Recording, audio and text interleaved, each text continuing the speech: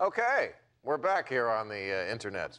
Uh, we have questions Feelings are virtual. from people have written in while we were on. Apparently, we're live. Uh, Chicago Fingers. Ooh, sounds like a mom. Ask, this is for you, Paul. Not one of my friends. How do you view the media's coverage of the wars in Iraq and Afghanistan? Pretty weak. I think, especially in the earlier years of the war when I was there, um, they were embedded, which, which they thought was going to give them a really unique perspective. And what it did was make them, I would argue, pretty impartial. It's hard for them to be objective when I'm covering their ass. Um, and I think as the security situation has deteriorated, it's been harder. and They were not impartial, you're saying. No, I, I, yeah, sorry, that, whatever. Um, thanks. I'm new. I'm were- new at this. Give me a break. No, no, no, I'm just trying to clarify. Um, Yeah, yeah, So you're- you. No, you're- you're Yeah, I saying think, that- I think you know. I think they've gotten better since. Um, and to be honest with you, what I think they're doing now with my world, with veterans and the veterans issues, is they're kind of playing a makeup call. They know they screwed up the war and the run up to the war, and now they're trying to get the veterans piece right. Uh, and I've heard that from folks in the press, and I think they're viewing it as a chance to play catch up. But they are pretty brave to go over there. They are, and, and, and to be honest with you, there are some good reporters. There's been some. There good- really are. There are some very good reporters, and there's been some very good coverage. And I could but it's been a very narrow perspective. From my point of view, the good ones are the ones who don't buy that we're fighting Al Qaeda in Iraq. That I said this every week. It just bugs the shit out of me.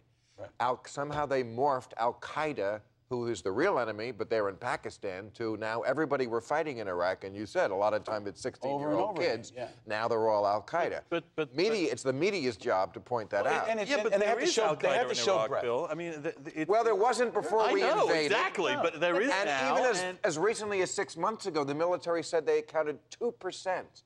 2% of who we're fighting over there. The- the- it's Al Qaeda and other extremists. that is ridiculous. Okay, you know, other extremists is Look, 16 there's year no, old. there's no shortage of people that hate us at this point. Right. We need to recognize Well, that. if- Sun Tzu, know thy right. enemy. And if the they were president march- does not understand who we're fighting. Our soldiers understand Right. who we're fighting, but most of America doesn't even understand who we're But fighting, and fair- that's why our response has been so limited. But to be fair to the media, it's an incredibly difficult country to understand. I mean, i i- when you when you I mean, uh, you look at the history, you look at the culture of it. It is. That's an it is- excuse, it is- though. That well, it's tough it- to understand. Physics is hard to understand, but they managed to cover that. Right. I mean,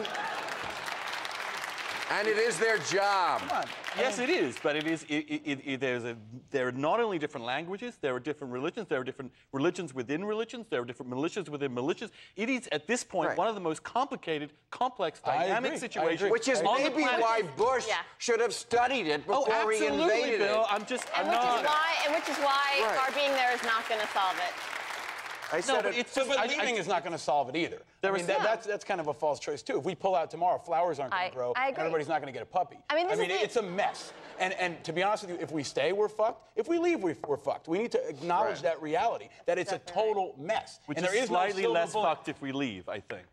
Okay. But again, that's, But a- all the that's choices- an empirical judgment, Yeah. Bill, at this point. I mean, we, I think if we all agree this was a huge mistake in the first place, now it becomes an empirical judgment Right. how the fuck we, Right, that's how, right. how we actually managed to make this not as awful as it might be. And that's and that's I- a horrible thing to do. Americans right. don't like to I, hear that, but I was the truth. asking an honest question before uh, during the show about the progress we saw in Iraq this week. absolutely. And my question really was one, is that progress so great that we should listen to McCain and say, hey, maybe we should at least stick it out another couple of years because something could grow? Or and couple of two, years And plus there's is not a- unsustainable. A couple of years, a couple of months, okay. And the American public's had it. They're out of extra Right. extra time. And we can't keep the- moving, moving the goalposts back every time we get inside the 20. And that's what they keep doing. And that's why the American public is fed up. And there's The not there's not a logical connection necessarily between the progress and our being there. The fact is that progress That's- could have happened earlier had we not been Totally. there. I mean, we, we are we are basically holding Maliki's hand. He's only going to be forced to really compromise when we say we're out.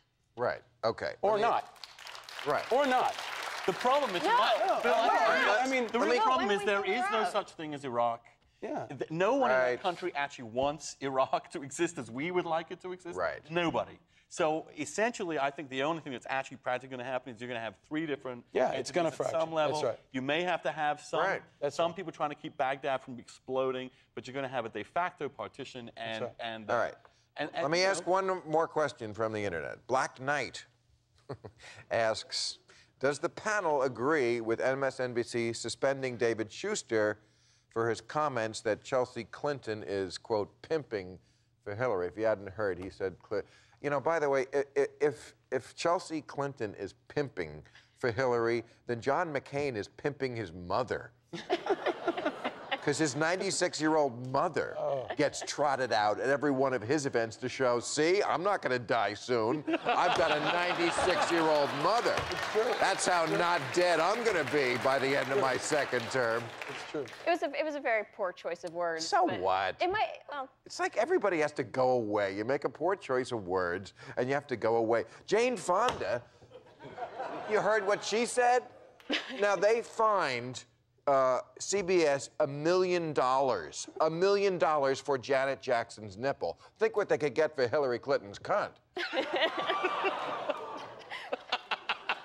well, that's the word They- Jane. just, it was the visual that really. That's the word Jane Fonda used. Yeah, we know. Yeah. right. So I think you know if you have Pimp My Ride on MTV or, or wherever it is, uh, I mean, pimp naturally has become generationally a different term, and unfortunately, Right. It's true. Uh, generationally, it's it's like gay or uh, I mean, it, it Right. doesn't mean what we the, the old generation Colloquial thinks yeah. it meant, and uh, Well, slang. it doesn't. I mean, it's distasteful, but it's right. It's not as bad as you know. It's not as bad as it once was. and Hillary threatened to pull out of the debates.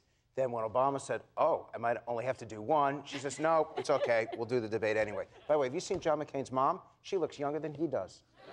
really? Yeah, it's incredible. But you know what? Uh, This McCain age stuff. I mean, I don't. I don't want to. I, I, I, I really, I really think we could do better than, than making cracks about someone who is old, uh, but who is in amazing shape for what he has to. Do you know what these people go That's go true. It's absolutely true. I mean, I, I know You're the guy. I've, I've seen And him. what they put He's him through in incredible. He's an incredible human being. And look, Bill, he, he was he Yes. had every bone in his in his body broken by Yeah. tortures. And, and, uh, give the guy a pass on his age, okay? I mean, this is this is a man who. So Well, call you him a you hero. can't- you can't- Don't jump on it. If you, people call him a hero, and then you go back to, to John Kerry, respect him for what he went through. He could have gone home. He did not have to have every bone in his It's body broken. true. I'm just saying, I don't think the age. I don't think the age thing is. No, the age I thing think it will relevant. matter because it will matter when he selects a vice president. Because that vice president is going to be scrutinized at a much higher level than the average vice presidential candidate. Because they're seriously going to be concerned about whether or not he'll make it through a term. And also it's, there it's is- a viable there- question. there it's a legitimate something- question. But it's not a legitimate question that he isn't perfectly capable of being president. Agreed. And, He and- is. and- Agreed, and- absolutely. And, and really quite remarkably so. But and there the is something. the there- great there is something to being overripe, isn't there, for a job? Well, there. I mean, that's what even they Hillary- said about Churchill in 1940. A very old guy, a total drunk, had, had his his career was over, but he he won he won the biggest conflict. You never know with with with. With people of, he, Right. uh, uh, of his caliber, I think, and and I think I think if he's against Obama, it'll just be a generational narrative. There's no way it can't be. But um, I think there are Obama plenty is taking the right position and being very respectful to McCain and not not not sniping at him in any in any Okay. way. Great panel, great audience. Thank you very much. We've got to check out.